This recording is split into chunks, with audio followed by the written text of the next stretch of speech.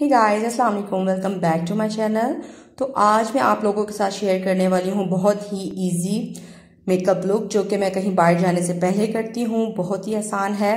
अगर आप लोग इंटरेस्टेड हो तो वीडियो को लास्ट तक लाजमी देखिएगा। मेकअप के साथ साथ मैं इस वीडियो में आप लोगों के साथ बहुत ही अफोर्डेबल कुछ प्रोडक्ट्स का रिव्यू भी शेयर करूँगी, जो कि मैं रेगुलर यूज़ करती हूँ।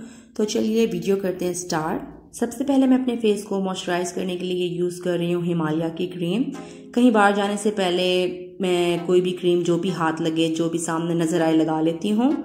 तो ये वाला स्टेप अक्सर मैं बच्चों को तैयार करते करते कर लेती हूँ, क्योंकि अभी आप लोगों को दिखाने के लिए कैमरा के सामने स्पेशली बैठी हुई हूँ. लेकिन जब कहीं जाना होता है तो यू नो बच्चों को भी साथ साथ तैयार करना होता है तो ये स्टेप उसी दौरान हो जाता है. नेक्स्ट मैं यूज़ करूँगी नेक्स्ट नेक्स्टन का सन ब्लॉक जो कि बहुत ही अच्छा है, जिसकी फ्रेगनेंस बहुत ही ज़्यादा माइल्ड है। इसका रिज़ल्ट अच्छा होने के साथ साथ ये बहुत ज़्यादा अफोर्डेबल भी है मीन फिफ्टी रुपीज़ का है।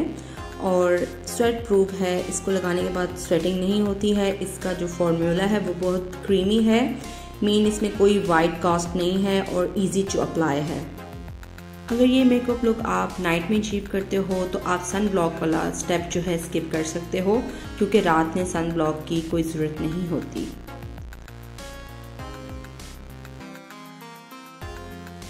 देन फाउंडेशन के लिए मैं यहाँ पर यूज़ कर रही हूँ फेयर एंड लवली की बीबी क्रीम जिसकी कवरेज बहुत ही लाइट है। जिन लोगों के फेस पर बहुत ज़्यादा हाइपर पिगमेंटेशन है, उनके लिए ये बिल्कुल नहीं है। मेरे फेस पर भी पिगमेंटेशन है, लेकिन बहुत ज़्यादा नहीं है। तो चलता है, मैं इससे गुजारा कर लेती हूँ। लेकिन फिर भी जहाँ पर पिगमेंटेशन का थोड़ा बहुत मसला है, उसको फिल करने के लिए या उसको छुपाने के लिए मैं यहाँ पर कंसीलर यूज़ कर रही हूँ।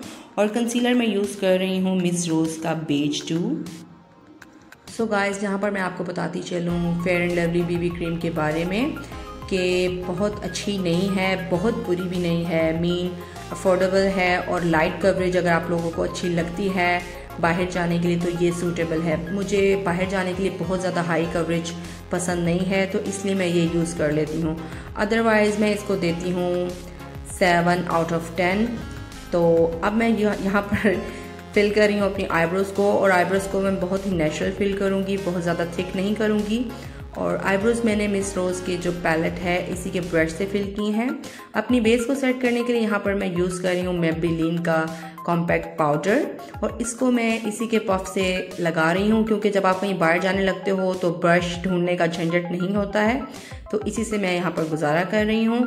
क्रिस्टीन सॉरी, कंट्रोलिंग के लिए मैं यहाँ पर यूज़ कर रही हूँ क्रिस्टीन का पैलेट क्योंकि ये मेरी कपड़ खोलते साथ ही सामने पड़ा होता है। तो ये यहाँ पर मैंने यूज़ कर लिया है। और कंटोरिंग करना क्यों ज़रूरी है? क्योंकि मैंने आपको पहले भी बताया है कि बेस के बाद फेस काफ़ी फ्लैट हो जाता है तो कंटोरिंग मैं यहाँ पर बहुत लाइट लाइट सी कर रही हूँ। देन ब्लश ऑन के लिए मैं यहाँ पर यूज़ कर रही हूँ मिस रोज़ का ब्लश ऑन और बहुत ही लाइट ब्लश ऑन है। पीच कलर में आप लोग देख सकते हो।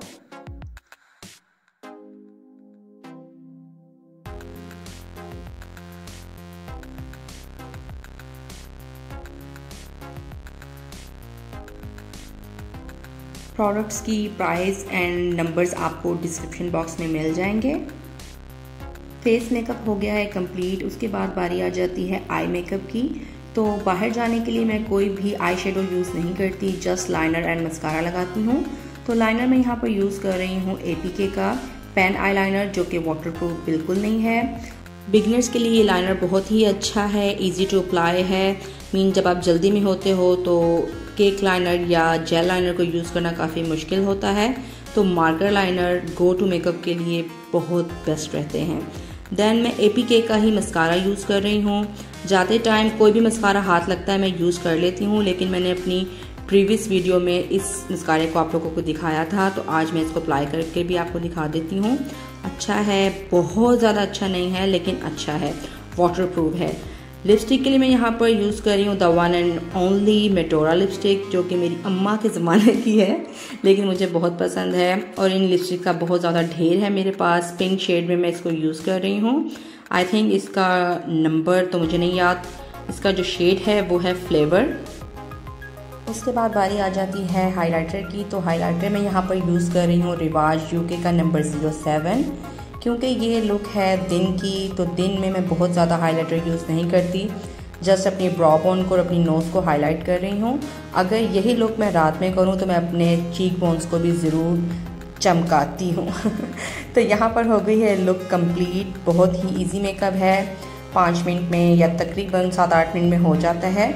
आई होप कि आप लोगों को पसंद आया होगा। तो आपने मेरी वीडियो को लाइक करना और शेयर करना बिल्कुल नहीं भूलना और साथ ही साथ कमेंट करना भी आपने बिल्कुल नहीं भूलना। तो मुझे दीजिए इजाज़त, मिलती हूँ नेक्स्ट वीडियो में अच्छे से कंटेंट के साथ। तब तक रखेगा अपना ख्याल। अल्लाह हाफिज़।